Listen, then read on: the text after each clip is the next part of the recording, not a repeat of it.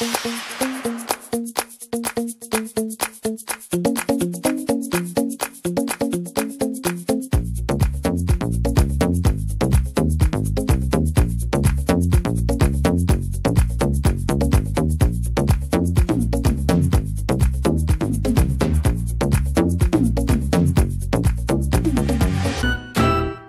أعجبكم الفيديو وللمزيد من الفيديوهات لا تنسوا دعمنا ب like و share ليستفيد منه الجميع.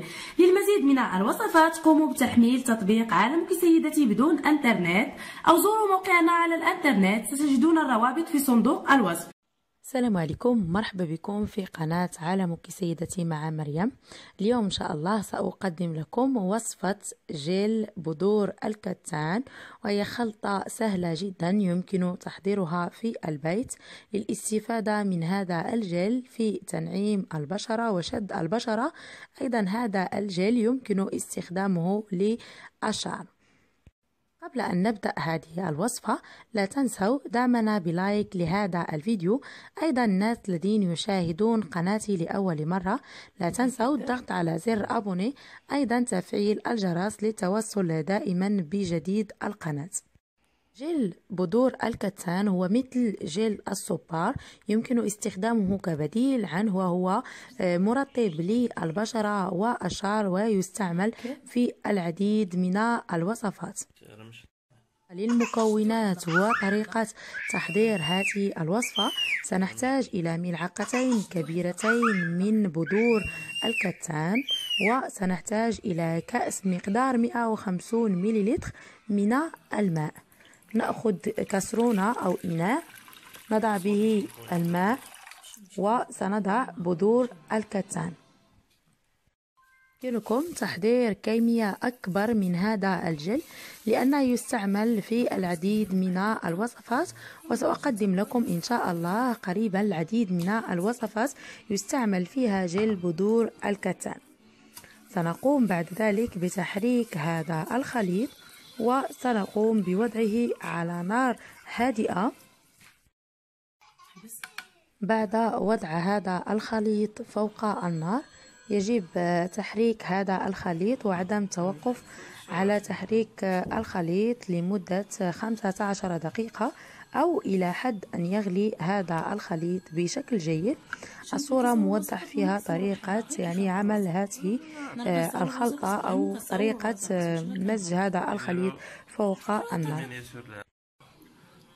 بعد أن يغلي هذا الخليط ستلاحظون تكون رغوة في هذا الخليط وسيصبح المزيج أكثر سماكة ولزوجة.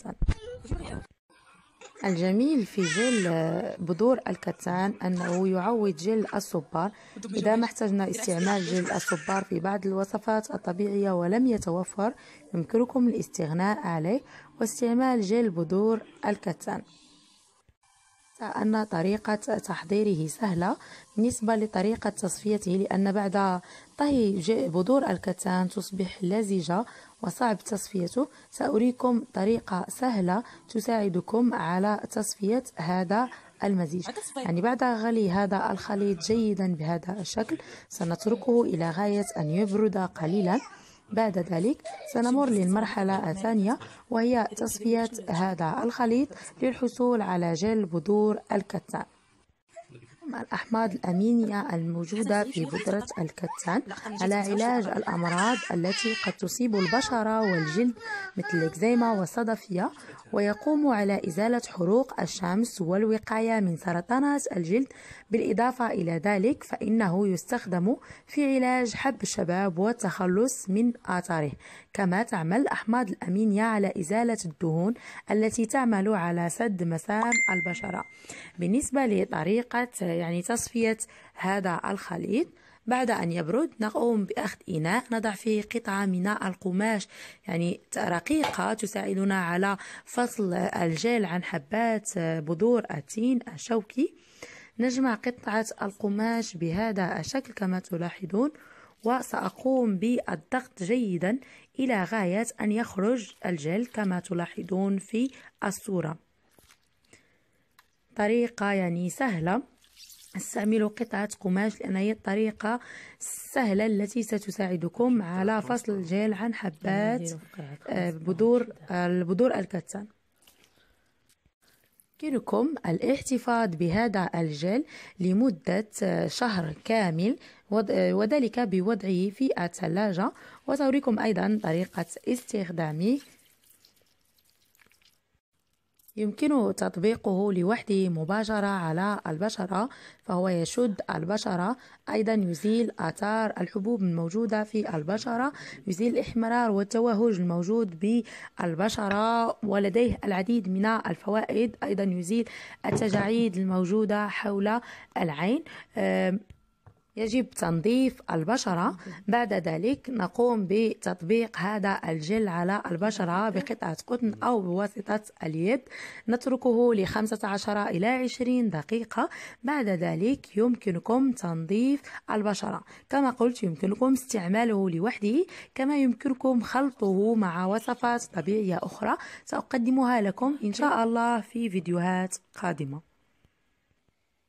جميع أنواع البشرة يعني دهنية جافة يمكن استعمال هذا الجل عليها وهذا الجل لا يسبب أي حساسية للبشرة.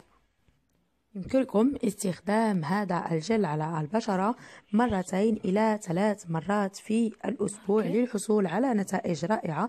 أيضا سيساعدكم على تنعيم وترطيب البشرة الجافة.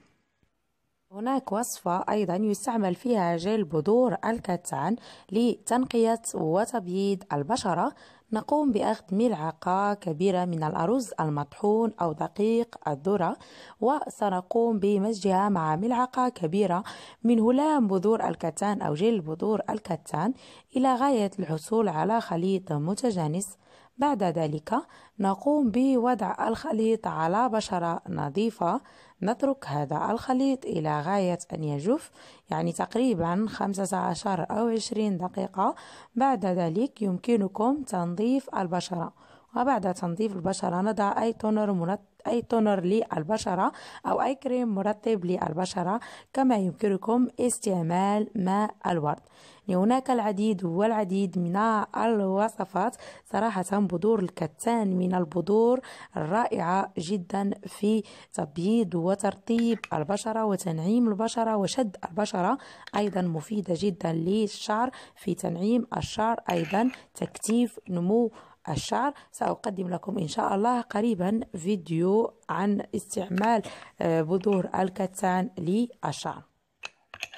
بالنسبة لهذا الجل أو هذا الهلام ليس لديه أي رائحة كما تلاحظون ويمكن الاحتفاظ به لمدة شهر في الثلاجة. شكرا على تتبعكم لهذا الفيديو.